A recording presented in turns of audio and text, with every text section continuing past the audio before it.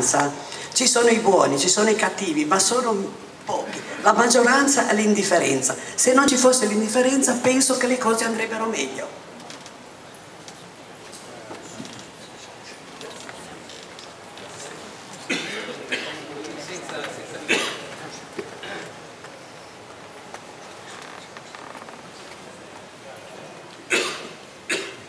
Sì, volevo dire senza microfono che secondo me molto spesso il mio vicino di casa, il mio amico, eh, ritiene di essere veramente uno zero in quanto ad assertività e chance di riuscire ad ottenere i suoi diritti o giustizia, o anche solo la metà dei suoi diritti. Dice ma io non conto nulla, non posso. Io ritengo che ci sia un approccio diverso, lievemente preparato, o anche un pochino di delega a persone un po' più preparate di noi diciamo, il carabiniere del quartiere, l'associazione consumatori, si rinuncia proprio a, a, dire qualcuno preparato perché si pensa che comunque non si avrebbe giustizia. Pensate che dare miglior conoscenza, non so con quali vie mediatiche, potrebbe rafforzare invece la speranza e la consapevolezza del proprio valore, soprattutto quando si addiviene un gruppuscolo?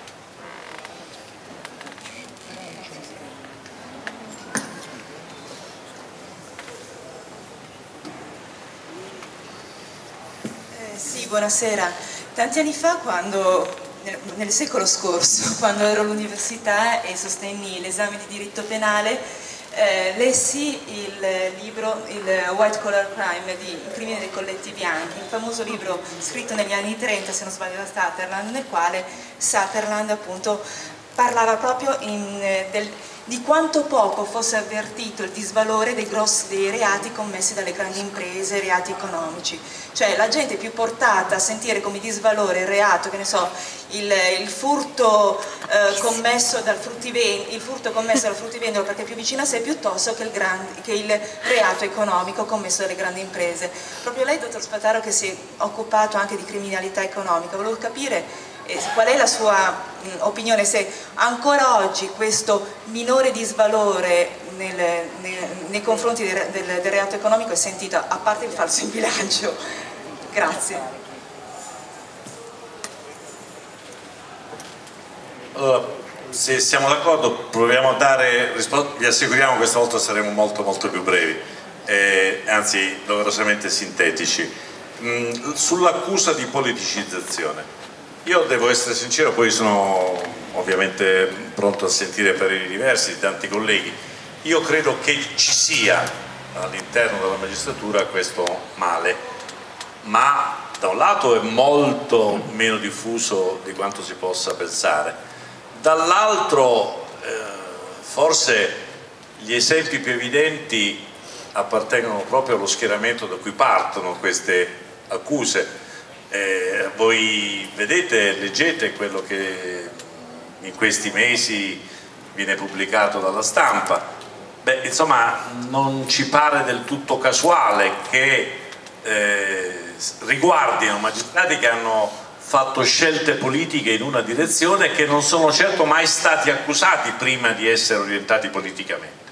Però su questo ovviamente un discorso generico e inopportuno bisognerebbe sempre puntualizzare ciò che si sta affermando. Eh, quello che vorrei dire è che io non ho dubbio nel dover distinguere, come ho detto già in premessa, quello che è l'impegno pubblico della conoscenza, qualcuno l'ha evocata, io sono convinto che sia fondamentale, della conoscenza sui principi fondamentali della giustizia e della Costituzione, non si può confondere questo impegno con la scelta della politica. Allora, io credo che il magistrato abbia diritto a vedersi garantito l'elettorato passivo se vuole fare questa scelta, ma credo anche che essa debba essere definitiva e reversibile. L'ho anche scritto, forse non tutti la pensano alla stessa maniera, è certo però che nel momento in cui una scelta politica viene fatta, eh beh, insomma, essa caratterizza.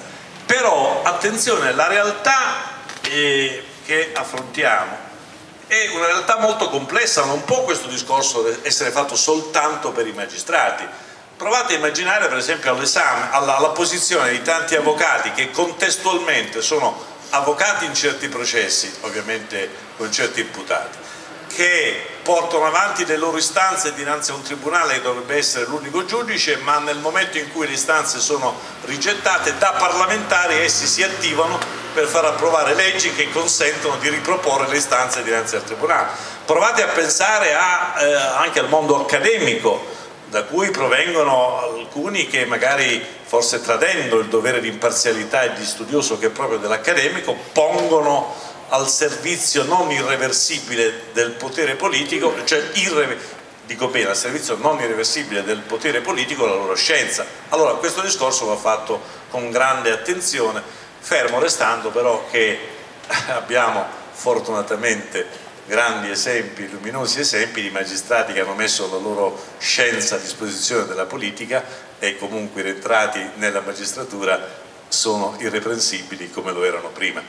E beati coloro che hanno fame e sede di giustizia, eh, è vero o non è vero? Io personalmente penso che dobbiamo crederci in questo principio, io credo che non possiamo perdere fiducia speranza perché altrimenti andiamo a, dire, a, chiuderci in una posizione di rassegnazione e passività e francamente non, non è questo che io eh, augurerei a nessuno, che non credo sia vero poi. E, è importante invece vincere l'indifferenza che fa pensare questo. Qui permettetemi di, di citarvi un episodio che mi è capitato di vivere qualche mese fa, ero a Torino ho partecipato alla Biennale della Democrazia avendo a, Franco, a fianco Stefano Essel, il 93enne autore dell'opuscolo Indignevù, no? Indignatevi. E beh, eh, questa persona incredibile di 93 anni, fuggito dalla Germania nazista, eh, partigiano con De Gaulle, catturato dai tedeschi, due volte fuggito dai campi di concentramento, poi eh, ha partecipato diplomatico alla scrittura di, della Carta dei diritti fondamentali dell'uomo diceva alle persone presenti, indignarsi non basta, eh, questo è il suo eh, motto come si sa, ma la domanda è allora cosa possiamo fare? La sua era una risposta molto concreta, niente affatto affabulatoria oppure retorica, diceva semplicemente ognuno nel suo campo in cui opera, in cui lavora, sa o dovrebbe sapere qual è il bene, quali sono i problemi, come si può tentare di vincerli. Però la raccomandazione, eh, certo io lo faccio da magistrato, non sono né sociologo né tuttologo, è che appunto ciascuno si impegni, questo consente di vincere l'indifferenza che si diffonde, è chiaro che questo comporta anche avere fiducia nel prossimo, nella possibilità collettiva di venire fuori da questa situazione, ma ci dobbiamo profondamente credere. Devo dire per la verità che SEL si è poi rivolto anche agli insegnanti presenti raccomandando loro di fare imparare a memoria le poesie ai loro allievi perché esse elevano lo spirito e ci credo profondamente, anche questo teniamolo presente. E questo va eh, quindi questo discorso però lo leggo a quello che è stato pure eh, qui fatto della necessità di una maggiore conoscenza Ecco perché dobbiamo discutere in occasioni come queste, è giusto che maturiate anche critiche nei confronti di chi vi parla, però poi arricchitele con le vostre autonome valutazioni, no? Perché molto spesso viviamo in presenza, non sempre fortunatamente, di un'informazione che o è teleguidata o è forse disinteressata all'approfondimento dei temi, ecco perché bisogna anche approfondirli.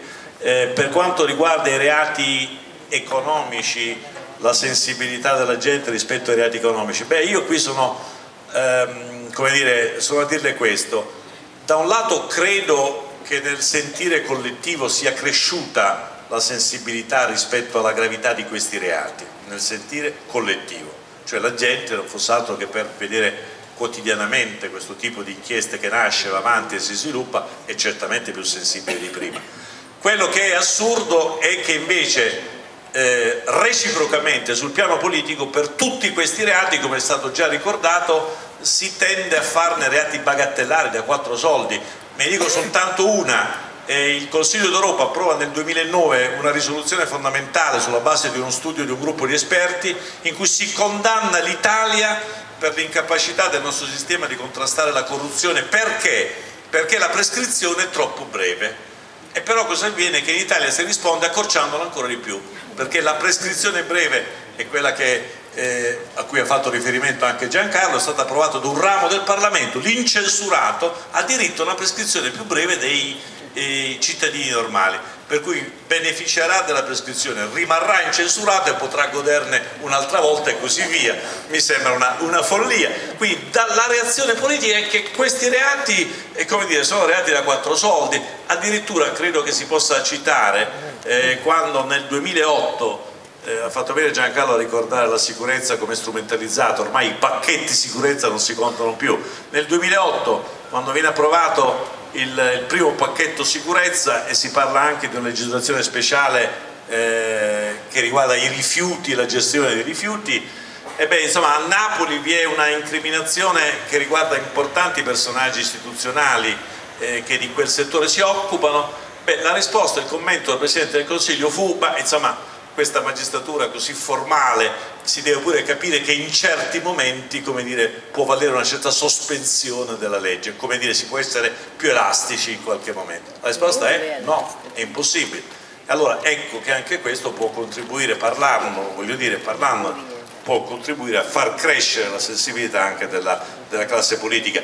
Ricordatevi eh, che in una eh, bellissima scena del film Mani sulla città di Rosi che mi è capitato di rivedere ultimamente, del 63, si parla dell'abusivismo edilizio a Napoli, c'è una scena bellissima in cui eh, la polizia sta sgomberando un quartiere popolare perché si deve realizzare una nuova urbanistica che specula ovviamente e vi sono dei muti di piazza, un membro del consiglio comunale napoletano di sinistra interviene e cerca di placare i manifestanti, uno dei quali gli si rivolge contro arrabbiato dicendo allora dovremmo votare per il tuo partito, per il partito comunista, la immagine è bellissima, la risposta è no, votate per chi volete ma votate per chi rispetta la legge, è una bella frase del 63 ma rimane ancora adesso valida.